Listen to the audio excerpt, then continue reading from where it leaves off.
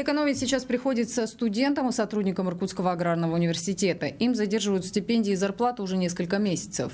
На завтра назначена акция протеста, но сегодня наша съемочная группа побывала в ВУЗе и выслушала мнение заинтересованных сторон на сложившейся ситуации. Из этих дверей завтра студенты выйдут на митинг перед зданием Иркутского аграрного университета. А сегодня площадку оценивает один из организаторов акции – председатель правкома Сергей. Необходима большая площадь, ведь ожидается около тысячи участников. Студенты, которые не получили стипендию за два месяца. Это почти половина всех учащихся в университете. 1100 человек у нас получают академическую стипендию примерно, и порядка 500 человек получают социальную стипендию. Это категория граждан э, социально нуждающихся и максимально социально должны быть защищены.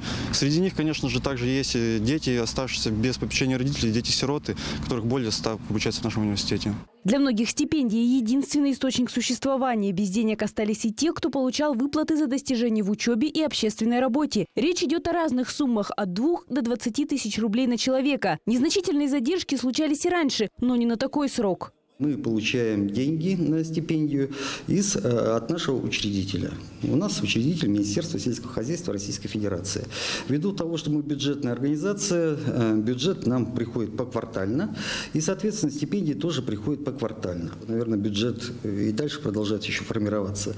Ну, соответственно, э, возможно, с этим связаны какие-то вот небольшие задержки. Деньги на выплату стипендий поступили накануне, но когда они дойдут до студентов, пока непонятно. Счета университета заблокированы. В подвешенном состоянии остаются и сотрудники университета. У них ситуация еще хуже. Зарплату не получают с декабря, а некоторые и вовсе с ноября прошлого года.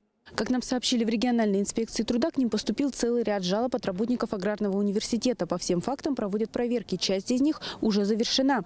Виновных в задержке зарплаты лиц, их имена не разглашают, привлекли к административной ответственности. А погасить задолженность обещают к концу месяца. Работники университета обещаниям пока верят и протестовать не собираются. А вот студенты, несмотря на появившиеся надежды, отказываться от проведения митинга не хотят. Для них это единственный способ быть услышанными и привлечь внимание к своей проблеме. Алена Полоненко, Михаил Глызин. Новости по будням.